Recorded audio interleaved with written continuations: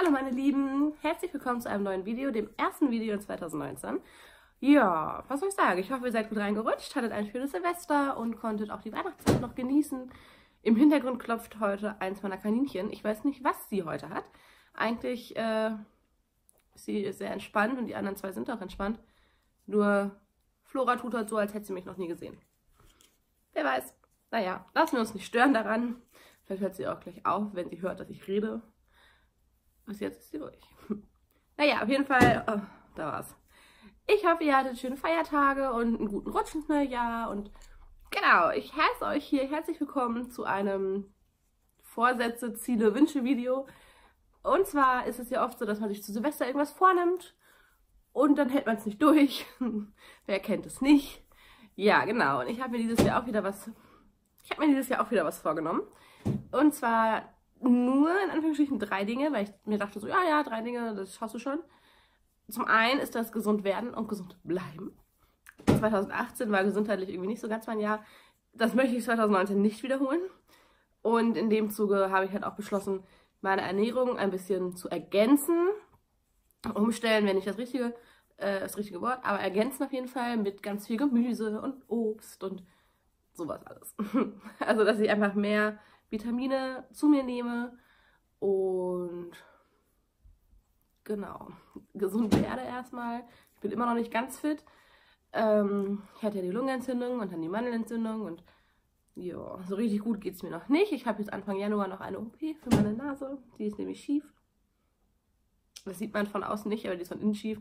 Ist auch kein großer Eingriff, aber ich hoffe, dadurch äh, wird eben meine Gesundheit auch ein bisschen besser, weil eben einfach weil. Nein, das wäre jetzt, äh, das zu erklären würde jetzt einfach den Rahmen sprengen und ist auch nicht notwendig. Deswegen sage ich das einfach nur. Ich habe jetzt Anfang Januar oder Mitte Januar am 11. habe ich eine OP und die möchte ich gerne antreten. Deswegen trete ich momentan am Stall auch ein bisschen kürzer, damit ich einfach gesund werde, bleibe, bin, wenn die OP ansteht und ich sie machen kann. Genau. Als zweiten Punkt habe ich auf meiner To-Do-List vor 2019, Wishlist, habe ich Go-List, List, habe ich stehen, dass ich wieder abnehmen möchte ein bisschen.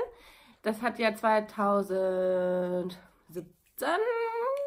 ich glaube es war 2017, hat es sehr gut geklappt, oder 16, 17, 17 glaube ich, hat es sehr, sehr gut geklappt und dann kam einiges wieder drauf.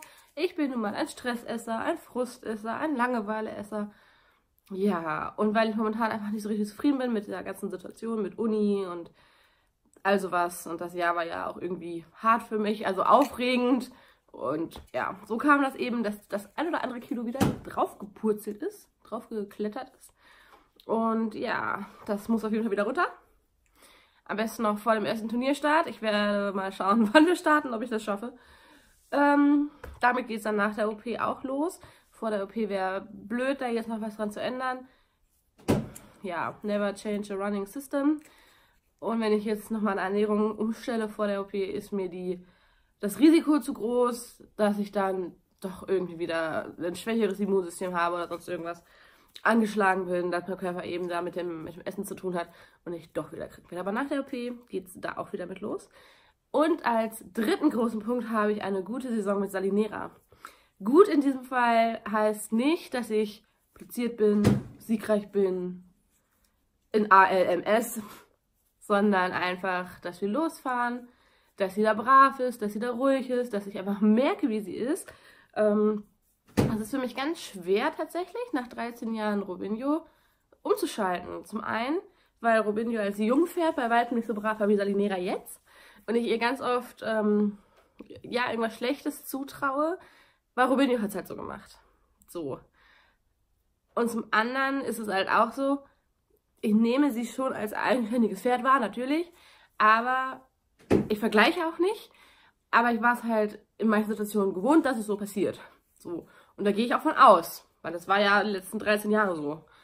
Und äh, genau, da werde ich einfach mal schauen, dass ich da noch ein bisschen mehr zu ihr finde und dass wir eben auf dem Turnier ordentlich reiten, also dass ich zum Reiten komme und nicht nur als Beifahrer dabei sein darf.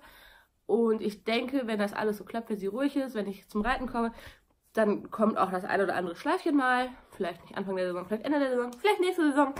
Schauen wir mal, ich bin da ganz zuversichtlich und mache uns da auf jeden Fall gar keinen Stress. Aber ich möchte auf jeden Fall losfahren, das ist sicher. Und geplant sind A-Dressuren. Im Sommer möchte ich gerne ein Abzeichen machen. Ob sie durch einen A-Parcours kommt bis zum Sommer, weiß ich nicht. Aber vielleicht durch eine Dressurreiter, ey. Hm. Das ist, glaube ich, momentan realistischer. Mein Pferdchen ist nämlich ein kleiner Kapperklaus beim Springen. Aber macht ja nichts. Ist ja halt Dressurpferd. Durch und durch, würde ich sagen. Genau, von Salinera werdet ihr auch mehr sehen dieses Jahr. Also natürlich, es hat auch gerade erst angefangen. Aber hm, ich habe zu Weihnachten ein Stativ bekommen und eine neue Kamera. Also das Stativ fürs Handy und die neue Kamera, weil mein alter Camcorder ja kaputt ist. Und jetzt kann ich eben euch auch wieder mit in den Stall nehmen und einfach die Kamera auf Stativ stellen oder das Handy ins Stativ stellen und auch mal filmen, obwohl ich alleine bin. Und ich möchte gern versuchen, dass es eben mehr Reitvideos gibt, mehr Longiervideos, mehr Follow Me Arounds, hatten sich einige bei Instagram gewünscht. Da bin ich also unglaublich schlecht drin. Mal schauen, ob ich das besser hinkriege. Vielleicht bessere ich mich da ja auch 2019, wer weiß. Genau. Und ansonsten habe ich noch ein Projekt, was äh, aber noch geheim ist, in der Hinterhand, was ich euch hoffentlich bald erzählen kann und wo ihr hoffentlich bald mehr von mitkriegen werdet. Aber wie gesagt, das ist noch geheim. Jo. Genau. Und mich freut es sehr, dass mein 2018er Jahresrückblicksvideo so gut angekommen ist, sage ich mal. Natürlich, es gibt immer irgendwie negative Kommentare, klar. Aber alles in allem wurde es ganz gut angenommen und ich freue mich da sehr drüber und ich hoffe, dass es so 2019 weitergeht. Und damit verabschiede ich mich und sage Tschüss und bis zur nächsten Woche.